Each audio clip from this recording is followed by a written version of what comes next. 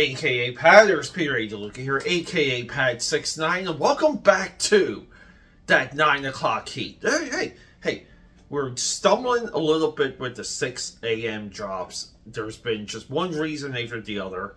I have failed all of you on that, but we're still doing morning drops, and we're back doing the 9 p.m. And what's the 9 p.m. drop? Well, it's what's ever on the tip of my brain, whatever's bugging me in the world of comics, pop culture, movies, so on and so forth and cheers. Get yourself some of that sippy sip. So here's the big thing.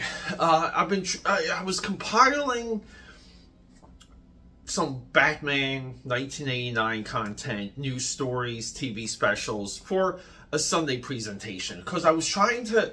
I think it was like Inside Edition. I was trying to track down this Inside Edition one I remember seeing when I was younger, or maybe even like a current affair Batman story. So I'm just going through, I'm going through the treasure trove of lost media throughout all of the internet. And I come across this Fred Finger interview from 1989. This is the son of Bill Finger. It's only about two minutes. And it just struck me. I, I know I've alluded to this before, and I wanted to just bring this to you guys. Because I've spoken about this a little bit on some of my live streams, which is why all of you should hang out with me on my live streams because we, we do a lot of talking and drawing. Where's the evidence that Bill Finger co-created The Dark Knight? Now, I get that he was there early, he worked on it, was a writer, so on and so forth. But where's uh, where's the actual evidence? Because it's beyond me that his son would be in front of a news camera I, and I get it. It's two minutes. We all know what the full length of, of some of this conversation was. But if the son is in front of a news camera, in the room with a producer, a reporter, journalist, cameras, lights, all this stuff, right? Sound. There's a boom mic guy with all right here, like that's the picture. And you don't go on and on.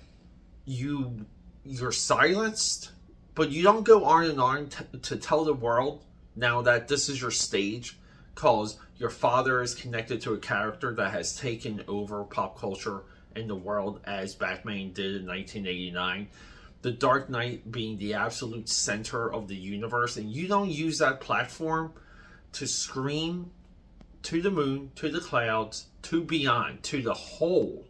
I don't know what that even means, but right, like how do you how do you not say, hey, Bob Kane stole the credit.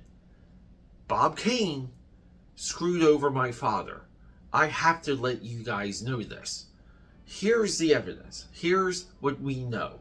These are things in dispute. And we're going to file, like, a lawsuit. Like, I, I don't understand. And then all this time later, somehow some dude makes a documentary that I've seen that has no evidence in that. So where's the evidence? And maybe I'm wrong. Can someone out there guide me to the Bill Finger co-created Batman evidence? Please. I, I, this is a an open invite. Link down. Just put the stuff down below, guys. Anyway, cheers. Thanks for hanging out. Ah, some of some of this these nine o'clock drops. They're they're good because they get my brain yeah, I can move on to something else now once it's off my chest. Love you guys.